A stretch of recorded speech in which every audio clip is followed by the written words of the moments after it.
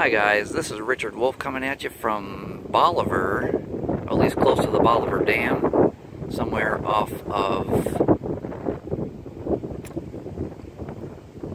Grace something road. I can't remember. Great. But as you can see, the road is still closed here. And if we look down the road here a little ways, it is still very much flooded. Give you look around to various surroundings here. It looks like they're doing some work on a pipeline of some sort.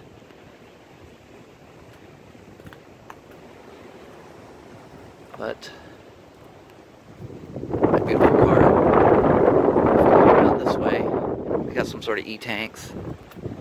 Again, I think that's for whatever pipeline that they're working on up here.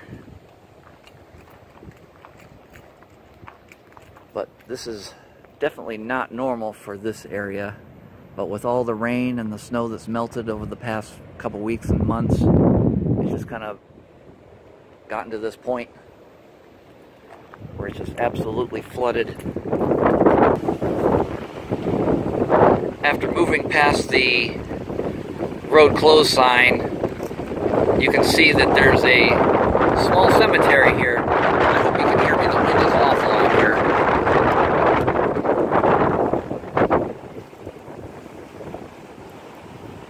It's a nice, beautiful day. It's like 74 degrees.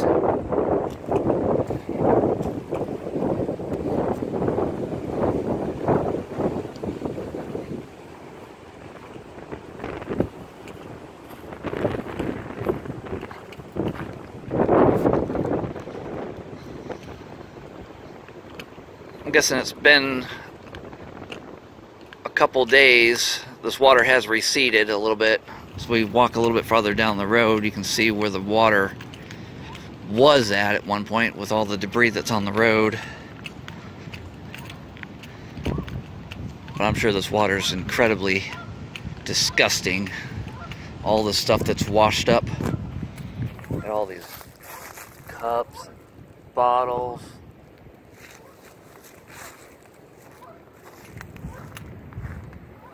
Look at this. This is just incredible how much this place floods when it gets to this stage.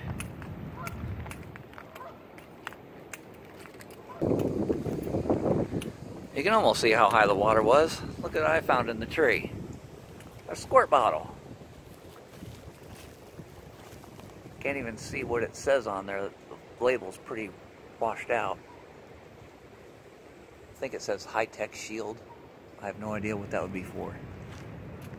I'll give you a better perspective of how high it is up in the tree. It's probably a good six or seven feet, maybe even eight feet. But we're getting close to the end of the road here.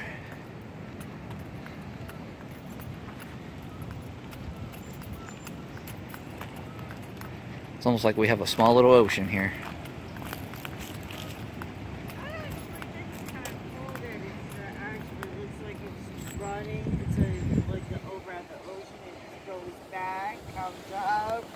Yeah, that's exactly what I just said too. It kind of looks like a, a mini ocean because you got the little waves coming up and in through here. Yeah. Wow, it's coming right up to my feet. Maybe this water's getting higher because it just came up to my feet. Uh, we're not supposed to get any more rain. Mike, that. Yeah. That is so neat. How often do you get to watch the ocean on a street? Well, maybe not an ocean, but Like the. it's almost like you're on the beach. Like just the need- current, the waves and current. Yeah, just need to uh, get yourself a couple lawn chairs, crack open a beer or something, enjoy the breeze. It's 75 degrees out here now. This is amazing. But this goes all the way down to Dueber Avenue Southwest. You can barely see where that intersection is down there. It's almost like right there where it would turn. but it's not as deep as it was. At one point, I'm sure this was close to 15 feet deep. Now, if we were to keep on going down this hill a little bit, probably not much more than four or five. Yeah, it looked like it uh, went down some because you notice some the spots. Like it started right here and it's gone down some. But truthfully, it was a lot worse. Yeah, at one point, the water was above those floodgates. You couldn't even see the floodgates. It was almost halfway up that hill up here. Go past those floodgates, my car would be underwater right now if it was about two or three weeks ago. About halfway up Uh, that hill. actually About, four, we- about a month ago. Because this happened in March. Looks like there's a little path up here.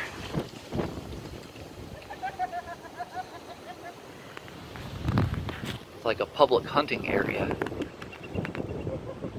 How do you like that?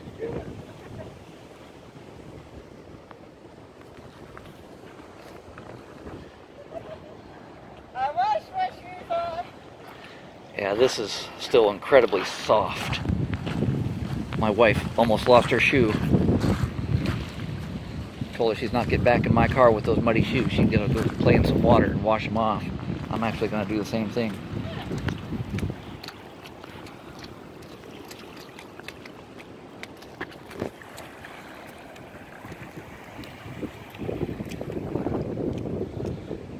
On the way here, we saw all sorts of different road construction signs.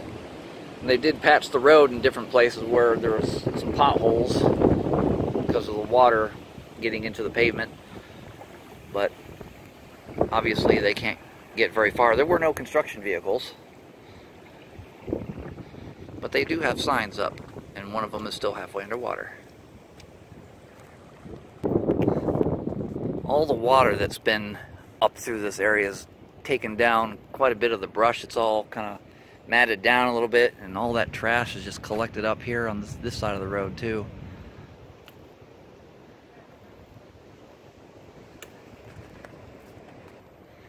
Back up at the top of the road here where we parked, there's the, the gates again. Another look at the incredible flooding that's still here.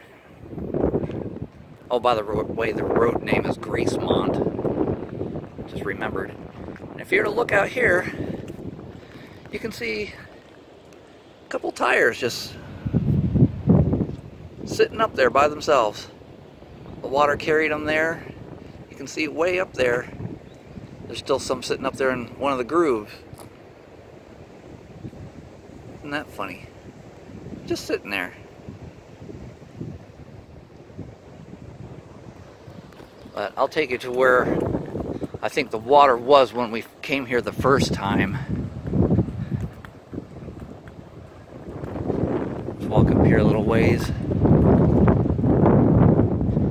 You can probably see it too by how the brush is matted down a little bit.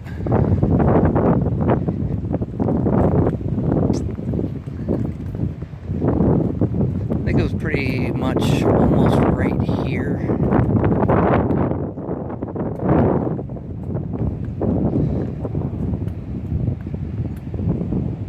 I think it was about right here where the water line was the first time we were here. So that gives you a little bit of a perspective of how much water there really was here. To cover those floodgates alone, six feet of water. So I don't know how high I've climbed from there, but that would be incredibly deep. Not something I'd want to swim in either.